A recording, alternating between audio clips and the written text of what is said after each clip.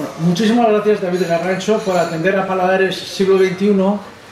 Y la primera pregunta que me gustaría hacerle es que, habida cuenta de sus actividades, que me dijese cómo se define usted, como camarero, como cocinero, como empresario. Mm, Yo me defino como hostelero de cuna.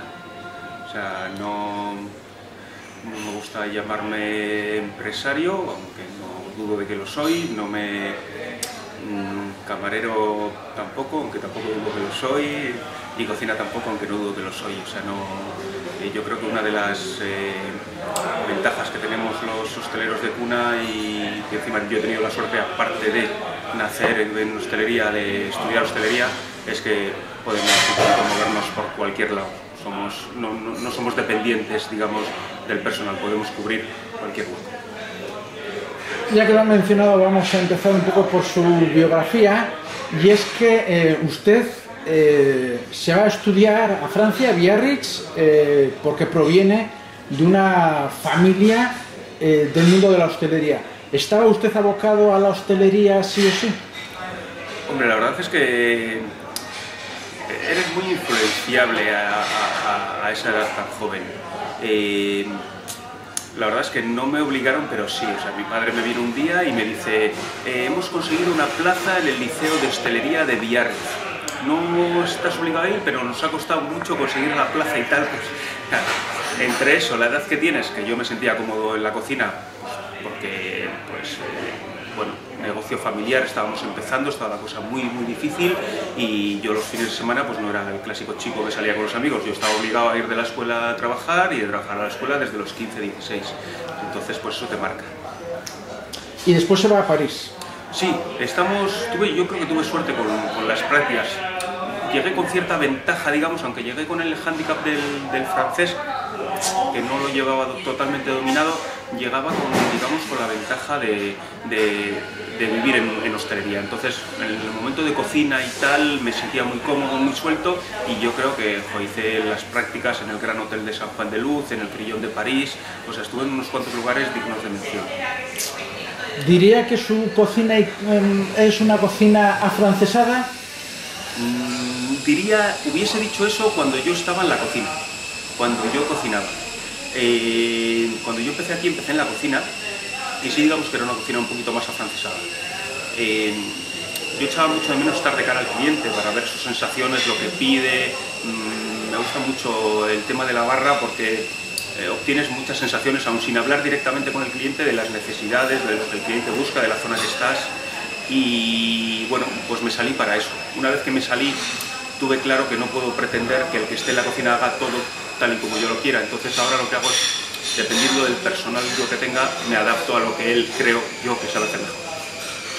Y después usted hace una cosa realmente increíble que yo creo que muy pocos cocineros han hecho y es que decide dar el salto eh, al Atlántico, cruzar el charco y en vez de irse a un país, digamos, entre comillas, habitual, pienso en México, Argentina o la República Dominicana, usted se va a Guatemala. ¿Qué había en Guatemala? Bueno, pues yo en aquellos entonces tenía muchas ganas de viajar y de moverme. Y los cocineros vascos estábamos muy... tenemos un aura bonita, ¿no? Para, para viajar, nos buscan. Entonces, en aquella época, pues dejé caer a mis profesores de escuela que quería viajar, que no me importaba irme. Y me ofrecieron dos trabajos, Japón y Guatemala, para llevar dos cocinas. Yo era muy joven, 23, o sea, estaba justito, justito, además preparado para llevar cocina. Entonces, claro, me vi en Japón, ya sin el idioma otra vez, eh, una cultura tan diferente y la verdad es que mm, lo, vi mucho más complicado. Bueno, Guatemala es verdad que no tiene una cultura gastronómica, culinaria eh, así, pero, pero bueno, el tema es que, mm, que nos quedamos nos quedamos con la idea mejor de Guatemala por el tema de- del idioma sobre todo. ¿Qué aprendió de aquella experiencia?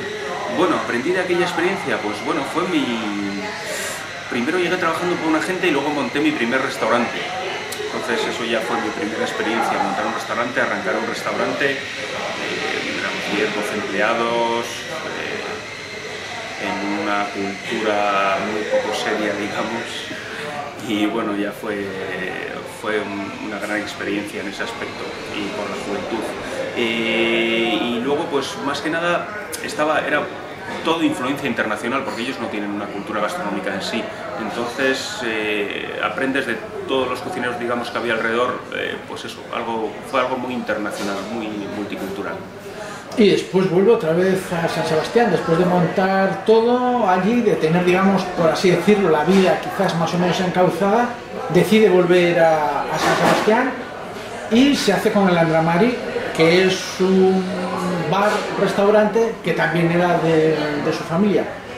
¿Qué le indujo a volver a... ¿Le llamaron desde San Sebastián o volvió porque allí ya había en Guatemala cumplido una etapa?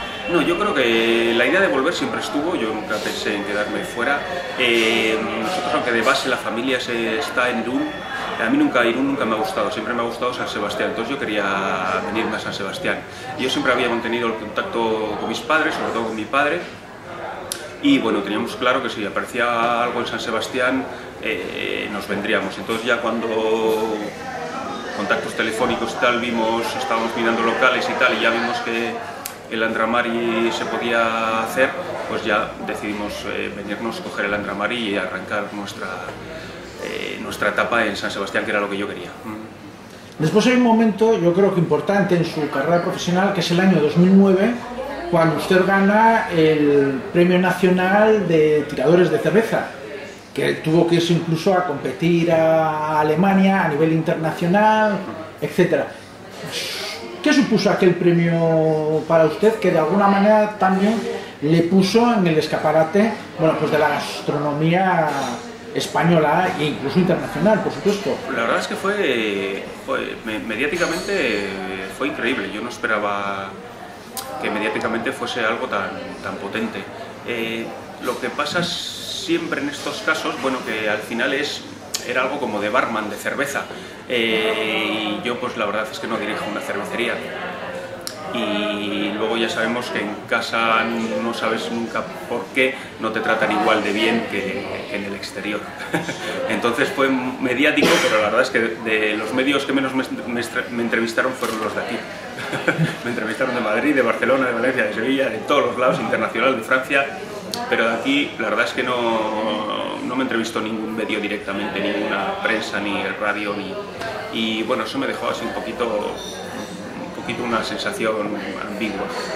Pero la verdad es que fue una gran experiencia, aquello fue increíble lo de Berlín, el concurso, estábamos pues eso, éramos 17, 18 concursantes de 17, 18 países, cada uno con una cultura de la hostelería, de la barra diferente.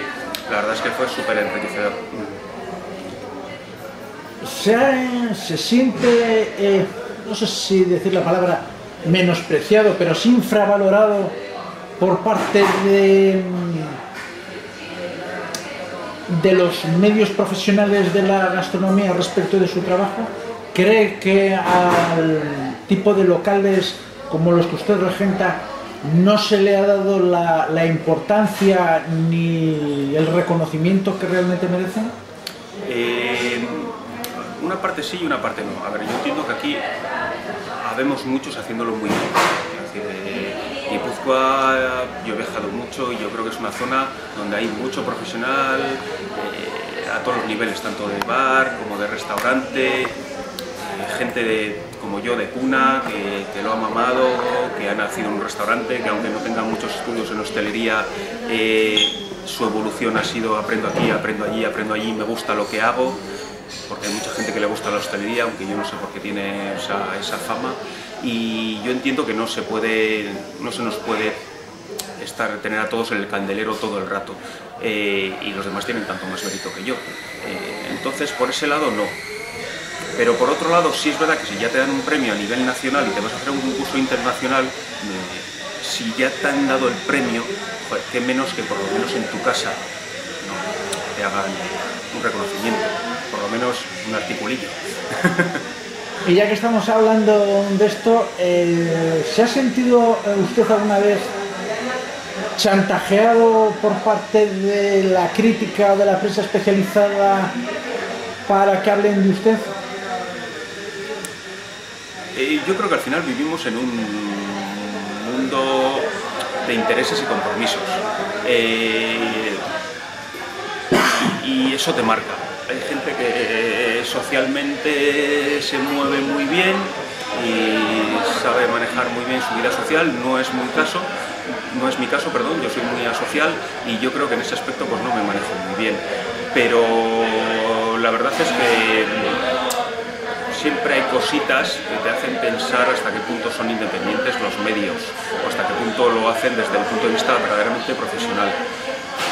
Yo entiendo que hay un poco de todo. Entiendo que hay gente que se lo merece, que es un tema muy profesional y entiendo pues, que hay gente que se mueve muy bien socialmente y lo consigue por otros medios.